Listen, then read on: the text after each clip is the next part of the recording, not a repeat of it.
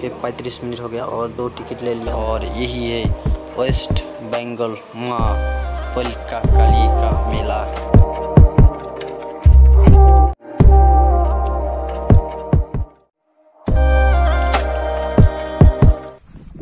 हे hey दोस्तों welcome back to my YouTube channel Mithun's blog दोस्तों आप लोग देख सकते हैं पूरा का पूरा जो कि दिखाई दे रहा है आप लोगों को बहुत ही बड़ा जो नदी है। और ये जो नदी है ये देख सकते हैं कितना बड़ा है। इधर भी इधर भी देख सकते हैं। सूरज भी डूब चुका है। और नदी का किनार में ये जो दे दिया, देख सकते हैं। और नदी से बहुत ही बालू और पत्थर जो कि उठाते हैं ये जो नदी से। बहुत ही बड़ा ये जो नदी है। ये जो नदी है, हम लोगों को पार होना पड़ेगा। हम लोग बहुत ही बड़ा मेला में जाएँगे, जो कि महाकाली का बहुत ही बड़ा जो मेला होता है। बहुत ही खतरनाक वीडियो का अंत तक आप लोग देखते रहिए। वीडियो का भी मज़ेदार होने वाला है और मेला में बहुत ही कुछ देखने को मिलेगा दोस्तों। तो चलिए वीडियो शुरू करते हैं।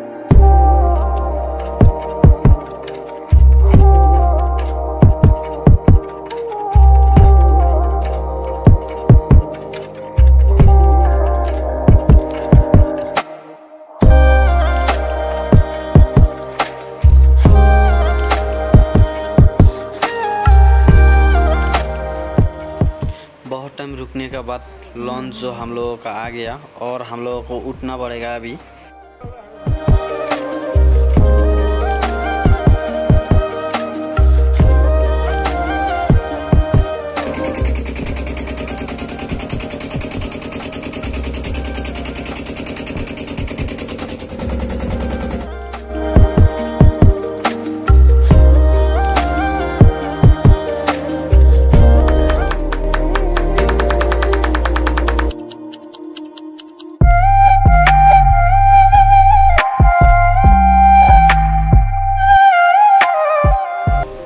फाइनली दोस्तों, आ गया और देख सकते बहुत ही ठंडी है दोस्तों।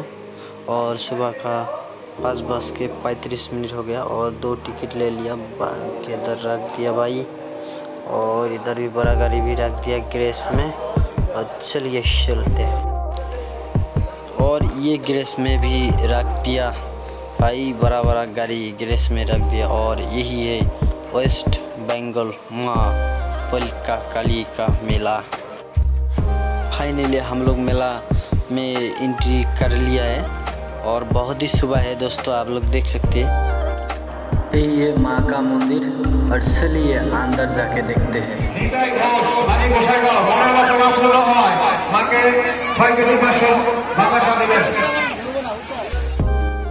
मेरा भागीना और इधर में और मेरा जीजा साथ में है।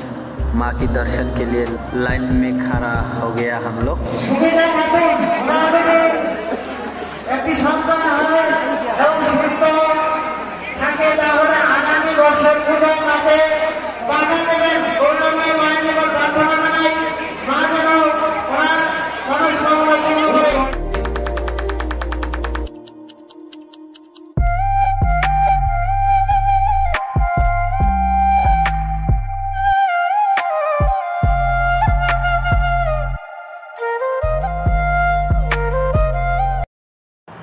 माँ को दर्शन करने के लिए बहुत जो भक्तों आ गया और सभी लोग आ गया, मेरा पीछे देख सकते हैं।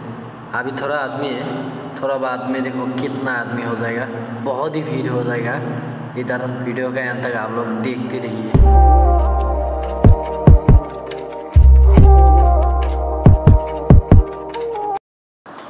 मुझे भी दे दिया। कैसे लग रहा है? अच्छा लग रहा है ना? और दोस्तों, माँ को कुछ बोलने के लिए आपको उधर जाना पड़ेगा, जाके माइक में बोलना पड़ेगा।